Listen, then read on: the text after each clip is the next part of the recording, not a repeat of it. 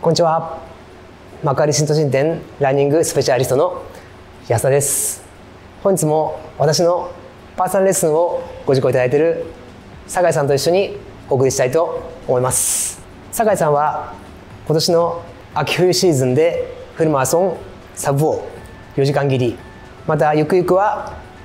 3時間38分の自己記録更新を目指してレッスンを受講いただいております。今年の春は体調不良の影響もありなかなか思うような練習が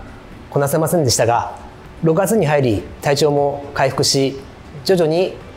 強度の高い練習もこなせるようになってきました。前回のパーソナルレッスンではスピード持久力を高めるための20分の行き走を30度の猛暑の中1キロ5分8秒というペースで粘ることができました。その後夏本番を迎えてからは足の土台作りを優先テーマに150分の LSD や4時間のトレイルランニングなどを積極的に実施することでしっかりとスタミナのある足作りに取り組んでおります。それでは酒井さんをお呼びしましょう。酒井さん。こんにちは。こんにちは、えー、本日もパーソナルレッスンのご受講撮影のご協力ありがとうございます。よろしくお願いします。よろしくお願いします。はい、えー、最近のコンディションはいかがですか？えー、っと先週は水曜日に LSD やって日曜日にハーフマラソンもゆっくり、まあ、LSD になるんですけどちょっと続けてやったんで、はい、疲れてたんですけど、はい。まあ、23日休んだら、はい、あの普通に戻りました。あ、はい、じゃあだいぶいい練習しながら休む時はしっかり休んで、はい、いい流れができてますね、はい。はい、じゃあそこまで、まあ、今日はコンディションが悪くないという感じですかね、はい。はい、マラソンに向けた足作りであったりとか、で土台作りのためのねスタミナ練習はねかなりねこの夏順調にね、こなしていただいております、はい、夏のねメイン練習はこういったね、スタミナ練習でもちろんいいんですけど、それだけだとねどうしてもね、あのー、関節の可動域がちょっと狭くなってしまってフォームがね、はい、こう縮こまったようなちっちゃいフォームになっちゃったりとか、はい、あとはね、まあ、心肺機能というのは、ね、若干ね低下してしまう可能性がありますので、はい、本日のね、えー、実装練習なんですけど久しぶりにねスピード練習を実施したいと思いますが、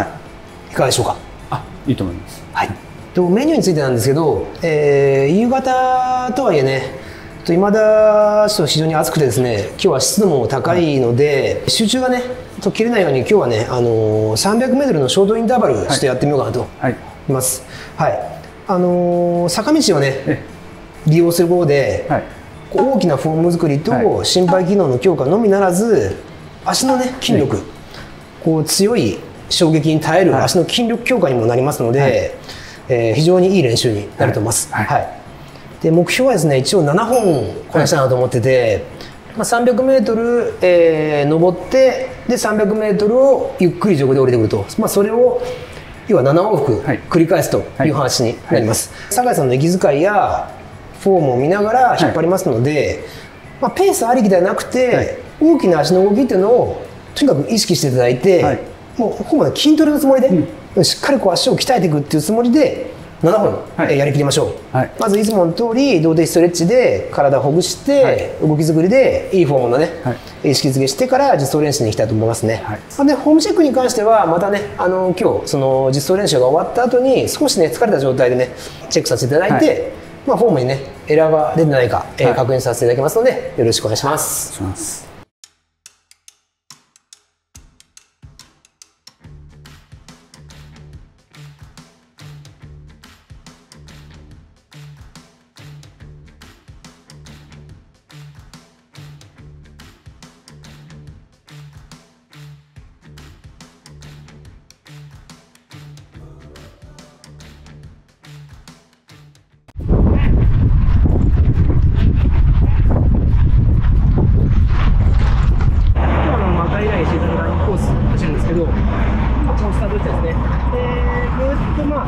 ジョグでゆっくり、えー2.7キロ地点まで行きます。でこその2.7キロ地点からちょうどいいゆるゆるゆる坂がずっと続いて3キロ地点まで行きますんででそこの300メートルを折り返して7往復。した後に最後ダウンジョグで戻ってくると。はい。感じで、えー、いい練習にしましょう。はい。お願いします。ます。じ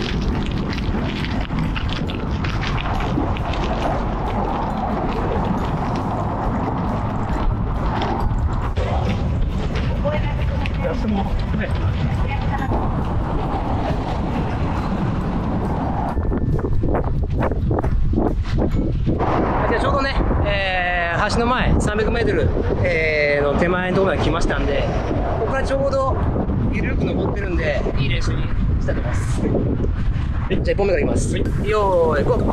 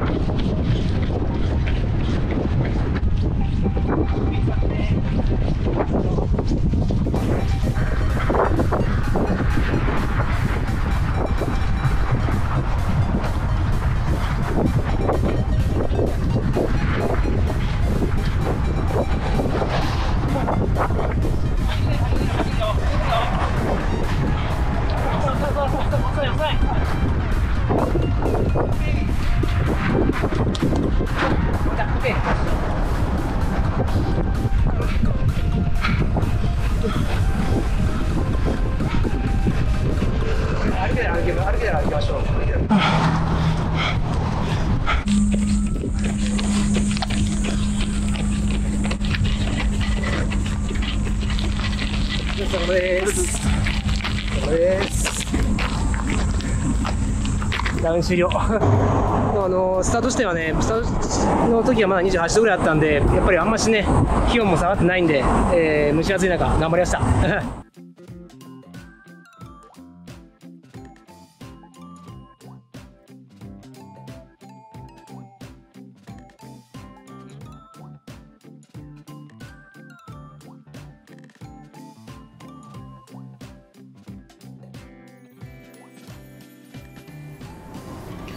やっぱあれですね、あ のインターバルやった後だけあって、結構おフォームが大きくなってますね。はい。まあでもあの多分こういう動きでフルマラソンはいけないと思うんですけど、まあでもうんたまにこういった要は大きい動きを意識していくと、その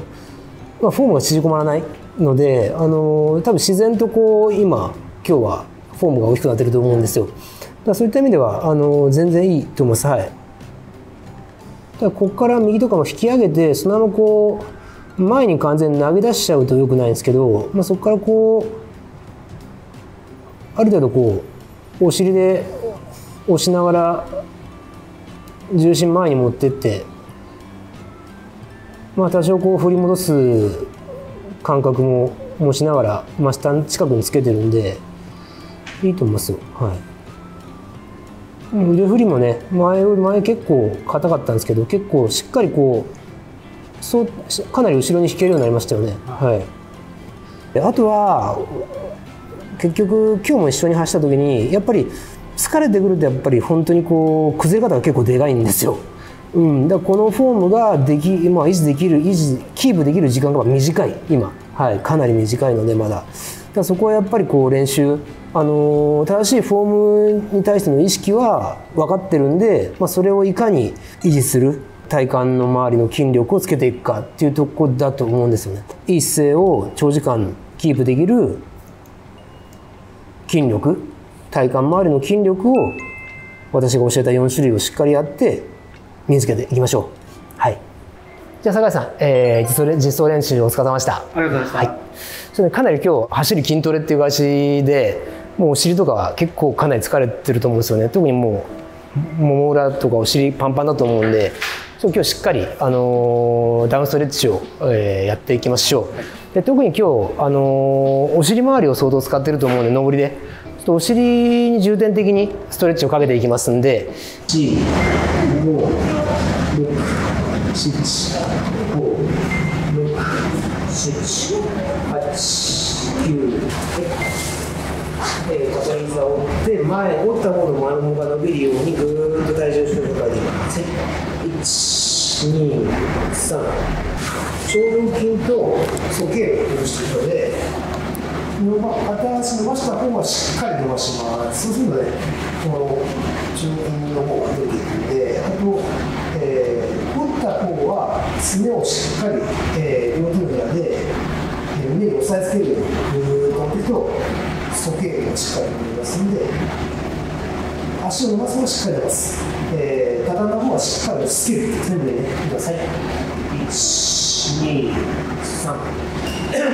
ー、こうやっていただいて、えー、片膝の上に片足のその後ろでそっとくるしておけちゃいます。で、えー、4の字すくって、隙間から、隙間から両手を下の方の、えー、太ももの裏を掴んで、ぐーっと、えー、その太ももを膝の方に、あ胸の方に移していく。そうするとね、えー、お尻のね、のどにした方のお尻の裏が当てます。はい、1、2、3。えー、前足を大体45度ぐらい開いていただいて、えー、作っていただいて、でそこからですね、えー、両手のひらをついて、で、えーまあ、人魚の姿勢って言いますけど、こうやって背中をぐーっと反って、えー、持ち上げていきましょう。そうするとね、折った方の後ろ側がしっかり、えー、ストレッチですね。はい、1、2、3、4、5、ね、7、8、9、ラスト、10。OK です。それでは酒井さん、お疲れ様でした。ありがとうございました。はい、えー、それでね、えー、本日のね、えー、フィードバックシートになりますね。はい。はい、ちょっと、えー、簡単に、えー、振り返りだけしますね。はい、今日の実装練習ですね。はい。あのー、フォーム改善と心肺機能、スピード、脚力強化のための 300m から7本の坂道インターバルですね。で、300m ジョグつなぎと。そして、まあ、あのー、1本平均で、えー、大体1キロ4分38秒のペースで7本。はいえー、粘れましたんで、よかったかなと、はい、思います。頑張ったと思います。はい、で、結局、まあ26度のね、蒸し暑い中だったので、本当まあ4本ぐらいで結構まずいかなと思いましたけど6本目以降もね、はい、えー、あまり落ちることなく頑張れましたので本当に良かったかと思います、えー、いい練習です。ナイスランです。はい。であと、えっと、フォームに関しましてはあのー以前よりもね良くなった点ですねまあ、腕がね以前もしっかり引けるようになりましたんで胸が大きく開けるようになったんですね、はい、で同時に骨盤も前傾できているので、まあ、腸腰筋がねうまく伸縮して楽に引き上がって足が引き上がってるっていう状態ですね、アップの時にこのぐーっとこう引きつけてからやっとあの脱力する。これ最近これやるようになってから引けるようななんかあ本当ですか。その、まあ、あの筋弛緩法っていうんですけど、まあ、筋肉をこう一回ぐーっとあの力でから脱力するとリラックスできる効果があるのであのはい、でそれの効果もあって今日ねあのフォームの時には力が入ってない腕振りになってたなと思います。あとまあダウンストレッチはねちょっとね疲れが残らないようにね、はい、お尻周り疲労をねたまらないようにお尻周り中心にねしっかりストレッチしましたとい。う話です、一応今後の練習計画なんですけど、あの8月も引き続きえー、基本的には足作りが練習の、えー、メインテーマになります、まあ、ポイント練習に関しては、まあ、130分以上の時間走を、はい、あの第一優先として取り組んでください、低速でいいので、はい、えー、もうキロ7以上でいいのであの長い時間足を動かし続けることによってまあ、この運動をねしっかり週1回反復できれば、そうですね。ねあのマラソンというねなんか長時間走り走り続けるための足の土台がね作れますので決めた時間は止まらずに、歩いてもいいので、はい、足を動かし続けてください。ポイント練習や余裕があるんであればまあ、20分のエキスを前回やったのなんかを自分で取り組んでもいいですしあとは私のねパーソナルをうまく使ってもらってもいいと思うので、はい、あのよろしくお願いします。はいあの本当にあのいい練習がね積み上げられてますので、そうですね、あのこのままねあの故障なくこの夏をね乗り切っていきましょう。今日ナイスランでした。はい、じゃあ、えー、本日のフィードバックシート酒井さん、はい、ありがとうございます。はい、えー、差し上げます。はい、えー、レッスンのご受講、えー、撮影のご協力ありがとうございました。ありがとうございます。はい、えー、今回のレッスンはいかがでしたか？はい、えー、っとですね、ちょっとあのーまあ、ゆっくり走ると言いながら1週間経たないうちに20キロ以上2回やったっていうのは結構きつかったのかなと思います。できつくってこう今日そうですね坂道と1本目からもきつかったんですけどなんとか7本できてよかったと思います。はい、そうですね。あの、まあ、先週ね20キロ以上の距離を2回やってますので、まあ、結構ですね、あのー、完全に疲労は抜けてなかったんじゃないかなと思います、はい、まあ、その中でもね坂道っていうね、状況の中で、まあ、平均1キロ4分38秒のペースで 300m を7本、ね、やりきれたっていうのは非常に大きいと思うので、はいあのー、筋力的にもねすごいいいトレーニングになってるんで。これもねまた一つの夏の、ね、練習の結果の自信として、はいあのー、刻んでいってもらえればいいかなと思います。じゃあ酒井さんあのまたね次回もね一段階成長したお姿がね発見できるのを楽しみにしております。はい、えー、ご視聴いただいた皆さんもありがとうございました。ありがとうございました。次回も楽しみにしていてください。私のパーソナルレッスンの詳細に関しましては下記概要欄をご確認ください。皆様のご受講も心からお待ちしております。チャンネル登録と高評価よろしくお願いします